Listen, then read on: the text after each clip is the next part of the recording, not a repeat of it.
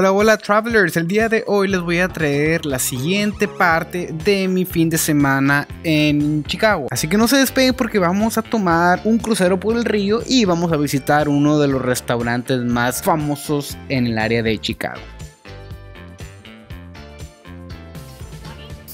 Una de las cosas que tienes que hacer si es tu primera vez visitando Chicago es tomar un tour en bote por el río.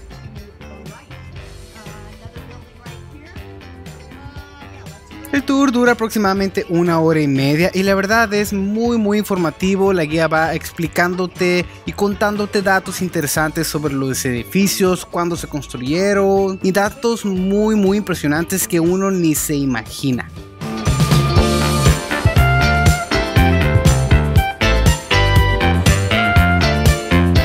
Hay muchas agencias ofreciendo este tipo de tours, pero nosotros lo agarramos con Cruise Chicago. Aquí abajo les voy a dejar la website por si están interesados. El precio yo creo que fue algo alto, pero pues considerando que es una hora y media y que es muy informativo todo, yo creo que sí vale la pena, la verdad.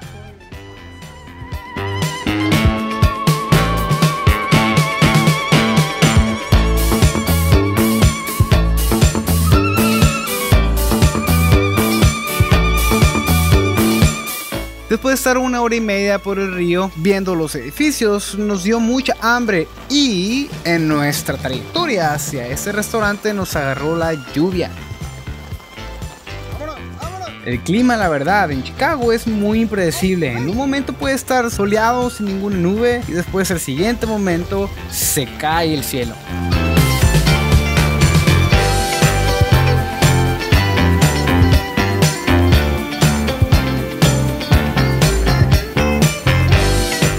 Después de nuestra travesía a través de las calles de Chicago, pudimos llegar sanos y salvos a Portillo's Hot Dogs.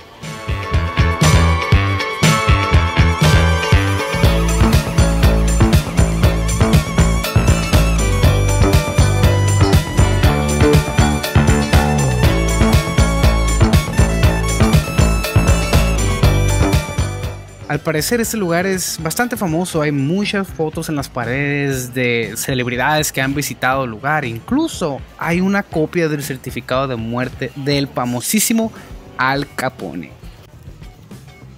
Y pues ya estando aquí me tuve que pedir varios hot dogs, este es uno de los cuales me llamó mucho la atención, este se llama Maxwell Street Polish Sausage.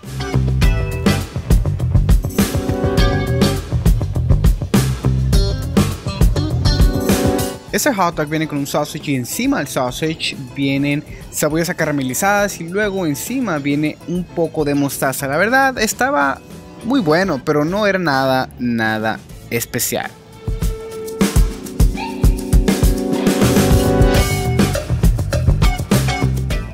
Lo que sí hay que reconocer de estos hot dogs es que no es mucho pan. Hay muchos hot dogs que es más pan que la carne, pero Aquí la verdad te dan bastante carne y mucho menos pan.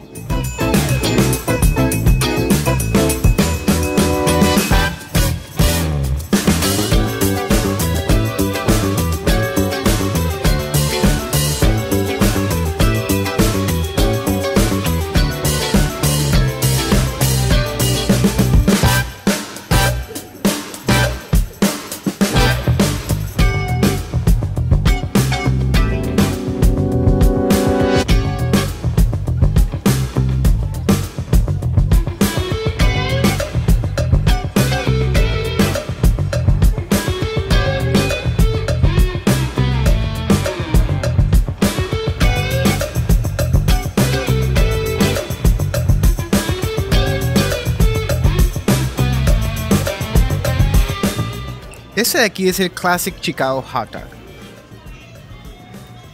Y honestamente no es muy diferente a los hot dogs que yo ya he probado. La única diferencia aquí es que viene un pepinillo adentro más aparte de un chile. Está bastante rico, pero la verdad no puedo decir que lo prefiero sobre los que normalmente consumo. Pero pues sí está bien, sí pasa.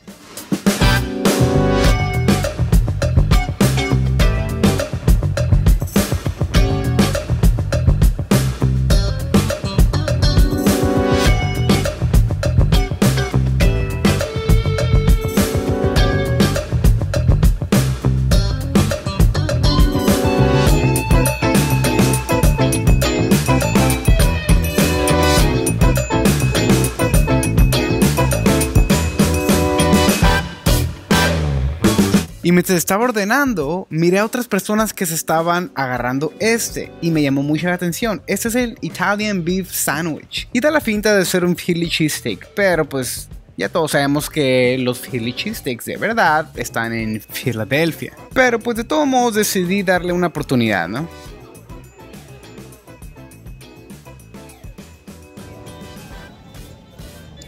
A simple vista tú puedes notar que la diferencia principal entre este sándwich y un Philly cheesesteak es el queso, no viene con queso. Sí, la carne es muy parecida y vienen hasta otros ingredientes más como jalapeños y zanahorias, pero pues no viene el queso. Y la verdad el sabor está bastante aceptable, pero pues no se compara nada a un cheesesteak.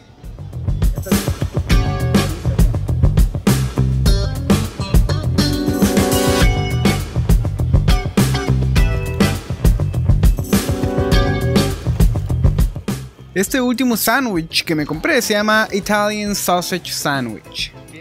Y pues como pueden ver, se mira muy solo, no tiene muchos acompañamientos, es simplemente un sausage en medio de un pan acompañado con un poco de jalapeños y un poco de cebollas y zanahorias.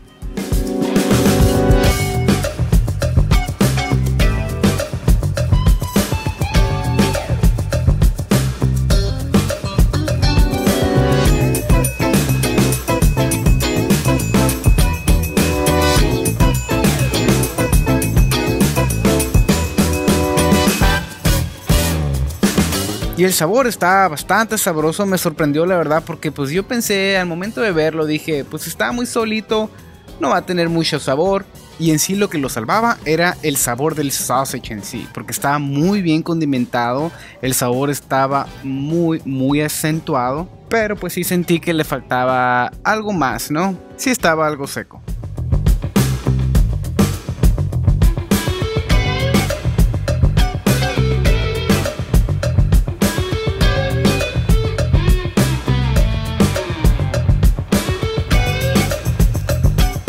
Y pues ya para terminar nos pedimos nuestra rebanada de pastel de chocolate.